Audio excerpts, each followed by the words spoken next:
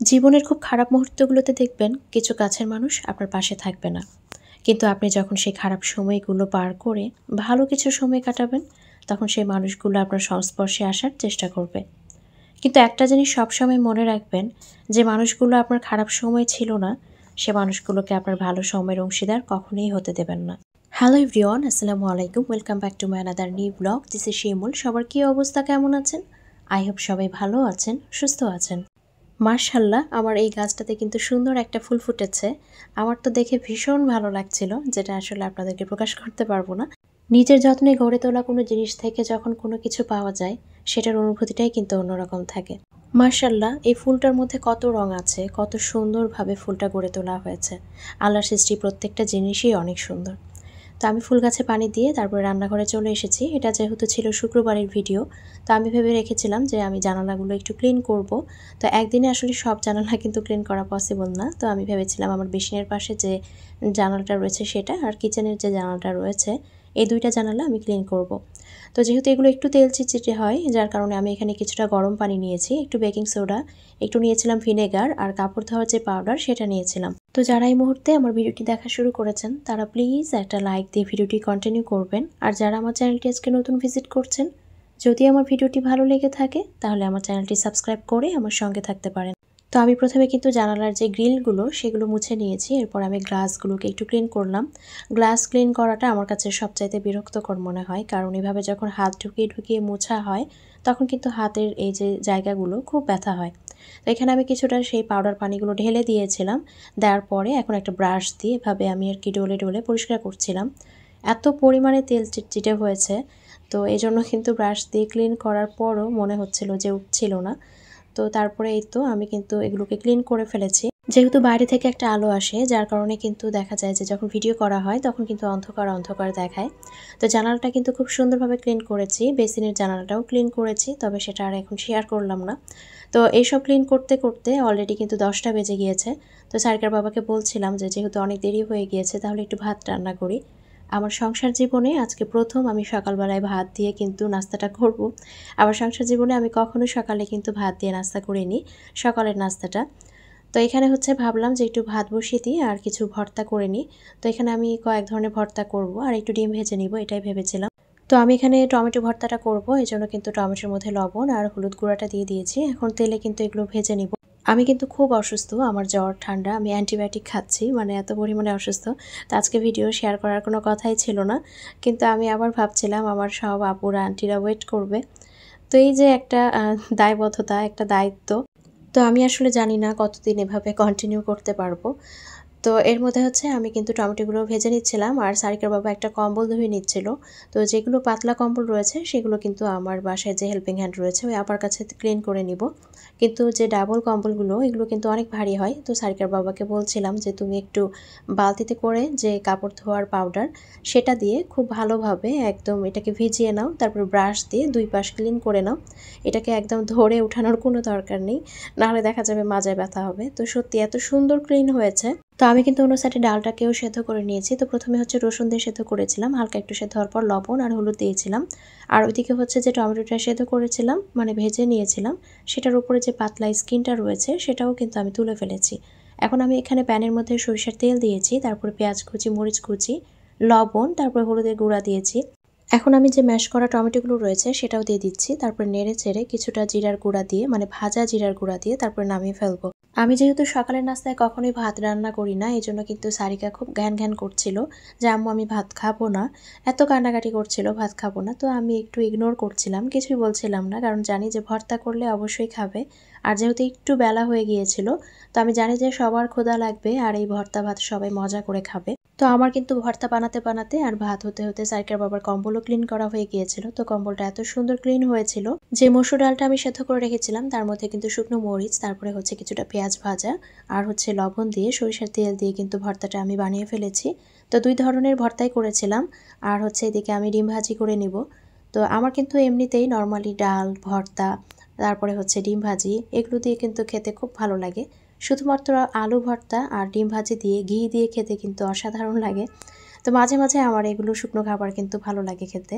ভেতরে এত পরিমাণে ঠান্ডা লেগেছে যে মনে হচ্ছে একদম গরম ফুটন্ত পানিও যদি খাই তাহলেও মনে হয় ঠিক হবে না।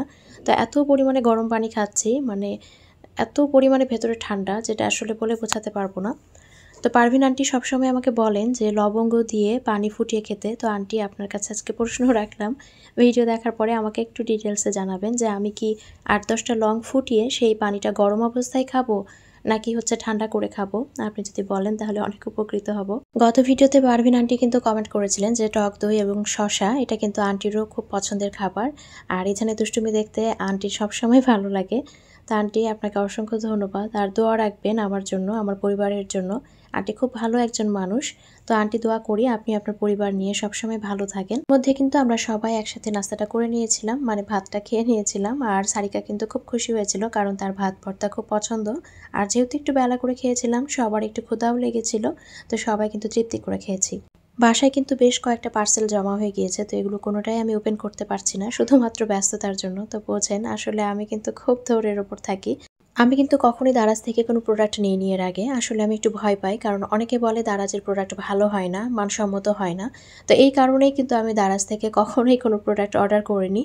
তো এই ফার্স্ট টাইম আমি দারাজ থেকে কোনো প্রোডাক্ট পারচেস করলাম। তবে আমি কিন্তু অনলাইন থেকে প্রচুর কেনাকাটা করি। যখন দুই হাজার বিশ সালে করোনা আসলো সেই সময় থেকে আমার এত পরিমাণে বদ অভ্যাস হয়েছে। তবে আলহামদুলিল্লাহ, আজ পর্যন্ত আমি কখনো অনলাইন থেকে কোনো কিছু কিনে ঠকিনি। কারণ কেনার কিছু টিপস, ট্রিক্স আছে বলে আমি মনে করি।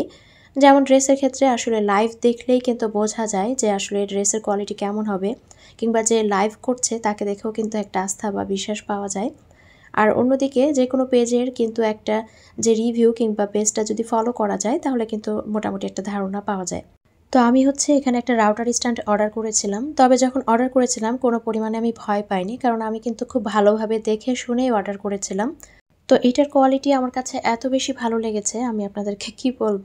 তো এটার সাথে কিন্তু কিছুটা নাট দেওয়া আছে, যেগুলো দিয়ে আর কি লাগানো যাবে।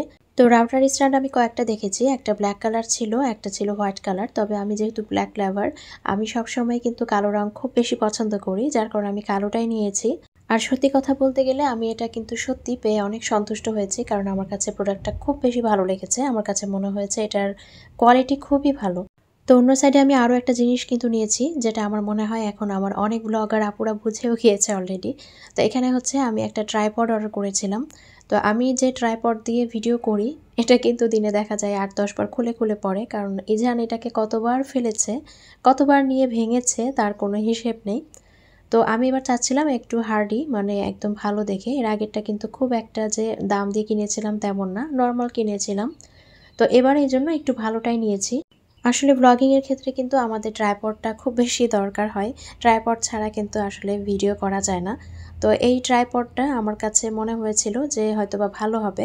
তো সত্যি হাতে পাওয়ার পরে আমি বুঝেছি এটা খুব হার্ডি ছিল, এতটা মানসম্পন্ন। তো আমি ফার্স্ট টাইম হচ্ছে পারচেস করলাম দারাজ থেকে। তো আসলেই আমি কিন্তু খুব সন্তুষ্ট, আমি ফুললি স্যাটিসফাইড বলতে পারেন। আর আমার আগের যে ট্রাইপডটা ছিল এটা কিন্তু খুব বেশি লম্বা হতো না, কিন্তু এটা দেখলাম যে পুরোটা যখন আমি এটা খুলেছিলাম, আপনাদের সামনে তো এখন এটা পুরোটা আর কি ওপেন করিনি, এমনিতেই দেখাচ্ছি, কিন্তু পুরোটা যখন ওপেন করেছি, অনেক লম্বা। তো এটাও আমার কাছে ভালো লেগেছে যে যাক, ওইটার সাথে এটার হাইটটা অনেক বেশি। তো এই তো, আমার দুইটা প্রোডাক্ট দুইটাই কিন্তু খুব কোয়ালিটি সম্পন্ন হয়েছে, আর আমি সত্যি অনেক অনেক সন্তুষ্ট। এরপরে দারাজ থেকে আমি প্রোডাক্ট নিব, এতে কোনো সন্দেহ নেই। তো ট্রাইপডের দামটা ছিল উনিশশো পঞ্চাশ টাকা আর যে আমি রাউটার স্ট্যান্ডটা নিয়েছি সেটা কিন্তু ছিল পাঁচশো নিরানব্বই টাকা। তো এরপরে আমি এখন রান্নাঘরে চলে আসি। যেহেতু শুক্রবার ছিল, সারিকার বাবার একটা পিকনিক ছিল, ও দুপুরে খাবে না। আর যেহেতু দেরি করে আমি সকালে নাস্তাটা কিন্তু করেছিলাম, তো সারিকা বলছিল, আমু দুপুরে কিছু করতে হবে না, তোমার যেহেতু শরীরটা ভালো না নুডলস করে দিলেই হবে। তো ইঝান কিন্তু সকাল থেকে না খেয়েছিল মানে খেতে চাচ্ছিল না কোনো কিছু যেহেতু ঠান্ডা তো আমি বলছিলাম, তুমি নাহি খাবে না, কিন্তু ইঝান তো কিছু খেতে হবে ওকে। তো আমি বলছিলাম আচ্ছা একটু দেরি করে কিছু করে দিই। তো তার আগে দেখলাম যে এখানে হচ্ছে গুঁড়া দুধ, তারপরে হচ্ছে চিনি, চা পাতা, এগুলো হচ্ছে অনেকটাই শেষ হয়ে গিয়েছে আমার যে টি কর্নার বা কফি কর্নার সেখানে। তো এই জন্য আমি এগুলো একটু ঢেলে নিচ্ছিলাম। কামাল হোসেন আইডি থেকে এক আপু কমেন্ট করেছেন, আপু বেশ কয়েকদিন ধরে খুব সুন্দর সুন্দর কমেন্ট করছেন। তো আপু আমার চ্যানেলের নতুন, তো আপু কমেন্ট করেছেন, ও আমার প্রাণের আপু, তোমার কণ্ঠ শুনলে আমি আর কমেন্ট না করে থাকতে পারি না। কোনো কিছুর সঙ্গে তোমার তুলনা করব না। তোমার তুলনা তুমি নিজেই। ইজান বাবাটাকে, সারিকা মামুনিকে অনেক কিউট লাগছে। তো আপু, যেহেতু তোমার নামটা আমি জানি না, তো এই জন্য তোমার নামটাও বলতে পারছি না। তবে তোমার প্রতি আমার অনেক ভালোবাসা রইল। তুমি এত ভালোবাসা নিয়ে আমার ভিডিওগুলো দেখছ আর এত সুন্দর সুন্দর করে কমেন্ট করছ। এর মধ্যে দিয়ে আমি চিনি আর হচ্ছে যে দুধটা, সেটা কিন্তু রেখে দিয়েছি। এখন হচ্ছে দেখলাম যে টিস্যু হোল্ডারে টিস্যুটাও শেষ হয়ে গিয়েছে, তো সেটাও রেখে দিলাম। আমরা তো আসলে বড় বড় কাজগুলোই হিসেব করি, কিন্তু ছোট ছোট যে সংসারের কাজগুলো, এগুলো কিন্তু কখনোই হিসেব করি না। এগুলো যে কত কাজ থাকে, আসলে তার কোনো হিসেব নেই। আমার মনে হয় আমরা গৃহিণীরা যদি চব্বিশ ঘণ্টার বদলে আটচল্লিশ ঘন্টাও পেতাম, তাহলেও আমাদের সংসারের কাজগুলো আমরা শেষ করতে পারতাম না, কারণ আমরা সবসময় খুঁজে খুঁজে কাজ বের করি। তো এর মধ্যে দিয়ে আমি দুপুরে খাবারের জন্য একদম হালকা পাতলা কিছু করব। তো এই জন্য আমি এখানে হচ্ছে একটু চিকেন ফ্রাই করব আর ভাবলাম যে একটু রাইস করব। তো সারিকা খুব বলছিল দুই দিন আগে যে, আম্মু, আবারও চিকেন ফ্রাই আর রাইস খেতে ইচ্ছে করছে। তো আমি বলছিলাম যে আচ্ছা এর মধ্যে কোনো একদিন করে দিব। তো তার মধ্যে ওর ধৈর্য হচ্ছিল না। তো একদিন রাতে দেখা গেল যে, বাইরে থেকেই কিন্তু খাবার অর্ডার করে নিয়ে এসে তারপরে খেয়েছিল। তবে বাইরের খাবার খেতে আমি আসলেই স্বাচ্ছন্দ্য বোধ করি না। আগে খুব খেতাম, তবে এখন যে খাই না, আলহামদুলিল্লাহ অনেক ভালো আছি। কারণ এখন না খেয়ে খেয়ে আমার গ্যাসের কোনো সমস্যা হয় না। তো আমি চিকেনগুলো মেরিনেট করে রাখলাম, আর এদিকে হচ্ছে রাইসটার জন্য প্রথমে কিন্তু পানিটা বসিয়েছি। তো সামান্য পরিমাণে এখানে অয়েল দিয়েছি আর লবণ দিয়েছি। পানিতে বলক আসলে তারপরে কিন্তু পোলার চালটা দিয়ে দিব। তো পোলার চালটা একটা ঝাঁকা বা ঝাঁঝরিতে রাখলে পানিটা ঝরে যেত।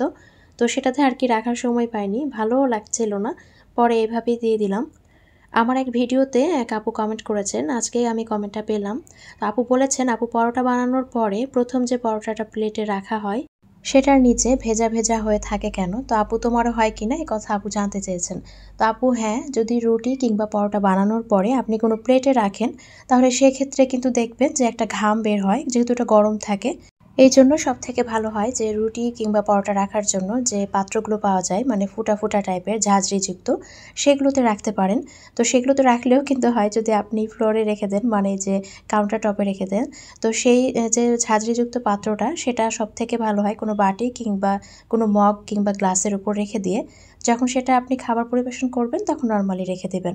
তাহলে দেখবেন সেখান থেকে আর ঘাম ছড়াবে না। তো তারপর যদি না বুঝেন, আমি কোনো একটা ভিডিওতে আপু শেয়ার করব, আপনাকে দেখিয়ে দেবো। আসলে সংসারের নতুন অবস্থায় আমরাও একটু ফেস করেছি, আমারও এরকম ঘেমে যেত।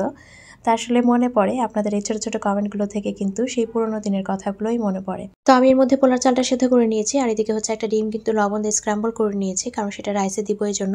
তো রাইস রান্না করার জন্য আমি প্রথমে রসুন কুচি দিয়ে তারপরে কিন্তু সেখানে আমি কিছুটা গাজরও দিয়ে দিয়েছি। তো গাজরটা ভাজা হতে থাক, আর এদিকে হচ্ছে আমি যে চিকেনটা মেরিনেট করে রেখেছিলাম, সেখানে কিছুটা আমি ময়দা দিয়েছি। তো ময়দা দিয়ে আমি মাখিয়ে রাখলাম। আর এদিকে যখন গাজরগুলো হালকা ভাজা হয়ে গিয়েছে, সেই পর্যায়ে এখানে আমি কিছুটা বাঁধাকপি দিচ্ছি। তো বাঁধাকপিকে আমি খুব মিস করব। কারণ বাঁধাকপি চাউমিনে দিতে, তারপরে তো রাইসে দিতে খুব ভালো লাগে। তো শীতকাল তো চলেই গেল। তো এর মধ্যে দিয়ে আমি কিছুটা লবণ দিলাম। সবজিতে কিছুটা লবণ দরকার এই জন্য কিছুটা লবণ দিলাম। আর আমি যে চিকেনটা ম্যারিনেট করে রেখেছিলাম, সেখানে কিন্তু আমি আদা রসুন বাটা দিয়েছিলাম। তারপরে হচ্ছে কিছুটা সয়া সস দিয়েছিলাম। তারপরে আমি মরিচের গুঁড়া, লবণ তারপরে আমি এখানে জিরার গুঁড়া, তারপরে গরম মশলার গুঁড়া আর ধনিয়ার গুঁড়া দিয়েছিলাম। সবজিগুলো যখন ভাজা ভাজা হয়ে গিয়েছে, তখন সেই পর্যায়ে এখানে আমি কিছুটা পেঁয়াজ কুচি আর কয়েকটা মরিচের ফালি দিলাম। তো এর মধ্যে দিয়ে আসলে অনেক দেরি হয়ে গিয়েছে, কারণ যেহেতু এগারোটার সময় নাস্তা করেছি এই জন্য দুপুরে খাবারটাও খেতে দেরি হয়েছে। তো আসলে আমি এত অনিয়ম করে কখনোই কিন্তু খাবার দাবার পরিবেশন করি না।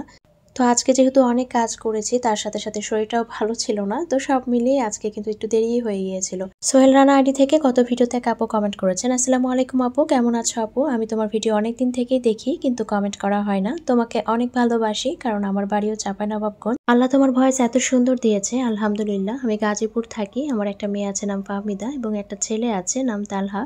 তো আপু, অসংখ্য ধন্যবাদ এত সুন্দর করে একটা কমেন্ট করার জন্য। আর আমুটার জন্য, বাবাটার জন্য অনেক ভালোবাসাও রইল।